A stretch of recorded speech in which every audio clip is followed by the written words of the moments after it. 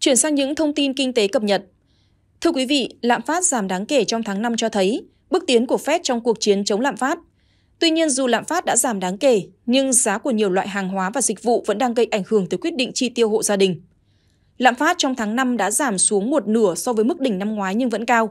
Điều này cho thấy giới chức Fed đã đạt được bước tiến trong việc giảm sức ép về giá, tuy nhiên vẫn còn nhiều việc phải làm. Chỉ số giá tiêu dùng CPI Mỹ đã tăng 4% trong tháng trước so với cùng kỳ năm ngoái, theo báo cáo của Bộ Lao động nước này, thấp hơn mức đỉnh 9,1% trong tháng 6 năm ngoái và giảm so với 4,9% ghi nhận trong tháng 4 năm nay. Cuộc họp quan trọng của giới chức Fed sẽ diễn ra trong hai ngày 13 và 14 tháng 6, với mục tiêu tranh luận về việc có nên dừng việc tăng lãi suất sau 10 lần tăng liên tiếp nhằm kiềm chế lạm phát hay không. Trước đó trong tháng 5, Fed đã tăng lãi suất tham chiếu lên khoảng 5% đến 5,25%. Đây là mức cao nhất trong vòng 16 năm. Nếu Fed quyết định giữ nguyên lãi suất trong tuần này, khả năng họ sẽ tiếp tục thực hiện các đợt tăng lãi suất khác trong cuộc họp được tổ chức vào tháng 7 hoặc cuối năm nay.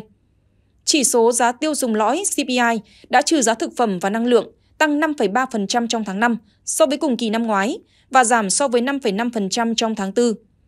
Các nhà kinh tế học coi CPI lõi như chỉ số đáng tin cậy hơn để dự báo về lạm phát trong tương lai. Chỉ số này vẫn đang ở mức cao, một phần là do những đợt tăng mạnh giá thuê nhà trước đây vẫn ảnh hưởng lên dữ liệu về lạm phát. Kể từ đó, tăng trưởng thuê căn hộ đã giảm đáng kể xuống còn dưới 2% trong vòng 12 tháng, kết thúc vào tháng 5, từ mức tăng hai con số trước đó một năm. Những sự thay đổi về giá này sẽ làm giảm sức ép lạm phát, nhưng cần có thời gian để thể hiện rõ hơn trong dữ liệu về lạm phát do có độ trễ trong cách tính toán giá thuê.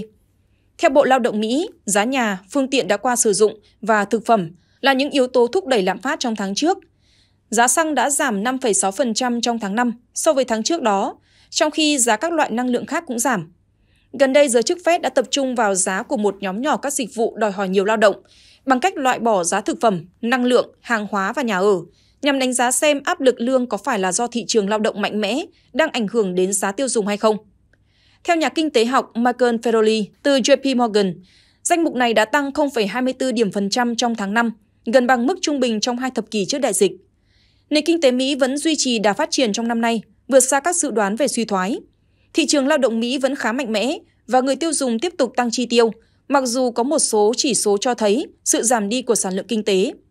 Trong tháng 3, một số ngân hàng khu vực đã sụp đổ, tạo ra nguy cơ xảy ra cuộc khủng hoảng tín dụng và có thể làm suy yếu nền kinh tế. Theo Aichi Amemiya, nhà kinh tế học Mỹ đến từ hãng Nomura Securities, Fed sẽ cần thời gian để đánh giá về tác động của các chính sách lãi suất của họ và khủng hoảng ngành ngân hàng.